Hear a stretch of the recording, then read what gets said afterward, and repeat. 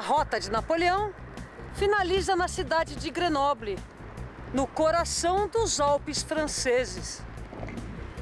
Vambora para a França, Grenoble. O Aventuras está em Grenoble, uma cidade francesa encravada nos Alpes. Chegamos aqui de bicicleta pela Rota de Napoleão, um circuito de gran turismo que sai de Golf Juan, passa por Cannes, Castellane, Visile e Grenoble. Foram nove dias de um pedal suado.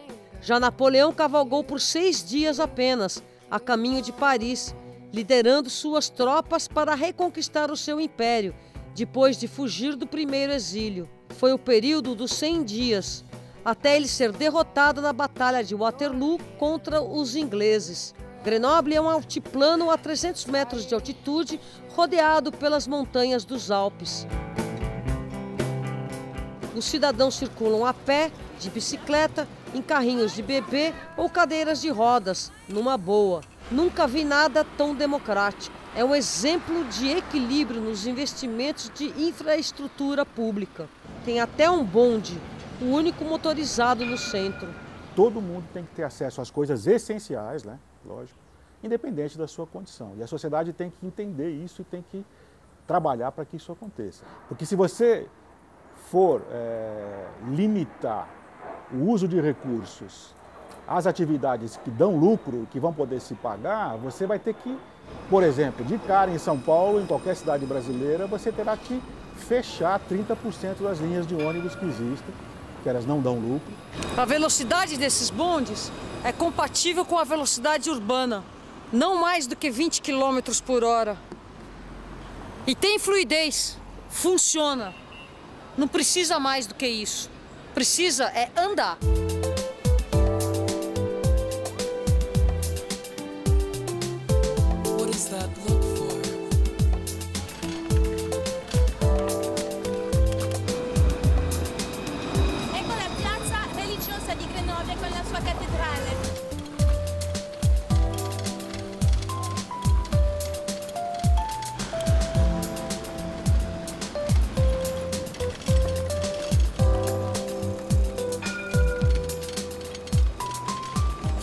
Depois de um passeio pela cidade, agora nós vamos conhecê-la do alto.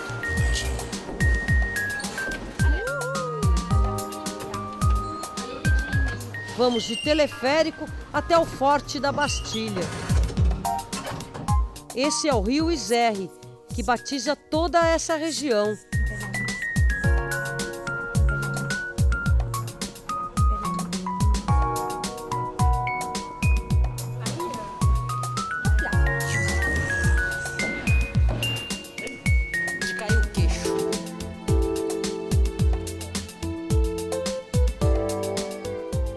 E o dia está nublado, sem cores. Em 1875 já havia um sistema de cabo que levava as pessoas para o alto do morro. O teleférico atual é de 1934 e vence 260 metros de desnível.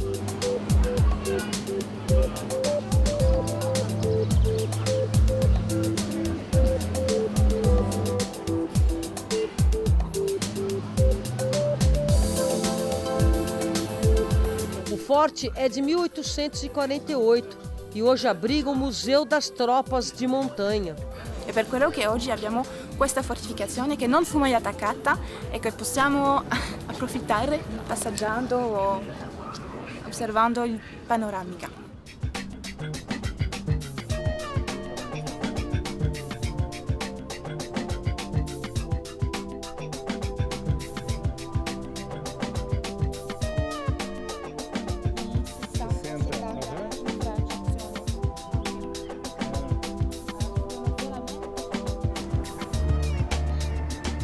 Grenoble tem uma universidade desde 1339 e hoje é um importante centro universitário. São 60 mil estudantes, um terço da população urbana. A Grande Grenoble abriga 500 mil pessoas. A região tem mais de 300 quilômetros de ciclovias. Além disso, o trânsito partilhado é bastante respeitado. Embora as ciclovias tenham apenas 10 anos, a opção pela valorização do ser humano é bem anterior.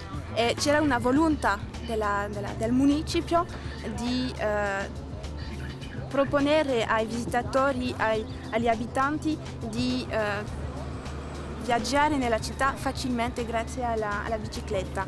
Foi uma decisão política calcada em um modelo que valoriza o cidadão.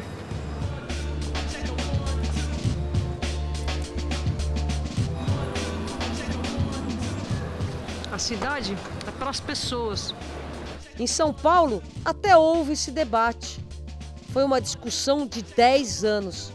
Ali perdemos o foco no cidadão e passamos a valorizar o carro como o rei das ruas. E isso catapultou as divisões sociais. Nos anos 50, a opção solidificou-se. O espaço urbano para carros é insustentável. Investimentos para todos em uma sociedade depende do quanto ela é democrática. Nós temos um sistema viário que é público, que custa muito dinheiro para construir. E quem é que se apropria desse sistema? Quem é que consegue usá-lo? Não é um uso equitativo, é um uso de quem tem poder, de quem tem força e quem tem dinheiro para comprar um automóvel grande e circular num, sistema viário numa cidade usando 50 metros quadrados. Por que, que os outros não podem usar 50 metros quadrados? Ou por que, que essa pessoa pode usar 50 metros quadrados? Negando o espaço que os pedestres precisam, inclusive os cadeirantes, que os ciclistas precisam. Ou seja, há uma enorme iniquidade nessa distribuição do espaço. Que é, ou seja, o nosso espaço ele é, ele é, ele é distribuído e apropriado pelo conceito errado que, a gente tá, que eu estou propondo, que é o conceito liberal.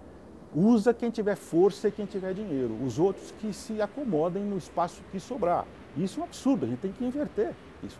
Para circular 25 ou 30 por hora, você vai precisar de 50 metros quadrados. Muito mais do que o tamanho físico do carro. Né? E não se esqueça que tem uma pessoa só lá dentro em geral. Né? E, agora, se estiver correndo numa avenida expressa, por exemplo, precisa mais. Você vai precisar de 100 metros quadrados. Então, na verdade, quando você, como cidadão brasileiro de país em desenvolvimento, tem dinheiro para comprar um automóvel, você tira da garagem, põe na rua e anda, você está dizendo, olha, saiam na frente, eu preciso 50 metros só para mim e ninguém me interrompa. Na verdade, é isso que você está fazendo. Tá certo? E, e veja que isso, isso é uma coisa que as pessoas nunca pensam, né? Se você for andar a pé, você vai usar um metro quadrado. Bicicleta um pouco mais, dois metros, dois metros e meio, né? De ônibus, por exemplo, com, com 30 pessoas dentro do ônibus, cada uma está usando um metro só. Né? Ou seja, é uma diferença extraordinária de consumo desse bem público que foi pago pela sociedade. E que os políticos, lógico, usando essa retórica é, desonesta e aética, né, querem dizer que investimento em, em, sistema viário é democrático porque será usado igualmente por todos. É uma mentira. Outro reflexo da desigualdade nas ruas é a velocidade permitida para se manejar um automóvel. O agradável de se pedalar na Europa é a baixa velocidade dos carros. Os seres vivos nas ruas não se estressam. Portanto, abaixar a velocidade dos carros nas ruas é a primeira e mais importante missão para se melhorar a qualidade de vida em nossas cidades. A proposta não é extinguir os carros, e sim diminuir sensivelmente a dependência que temos destes. E isso só vem com infraestrutura urbana para todos e prioridade ao transporte público. Ah, vai fazer uma avenida nova em São Paulo? Tudo bem. Primeiro, onde está o espaço do pedestre com qualidade e segurança? Está aqui. Esse é o espaço? Reserva. Fecha.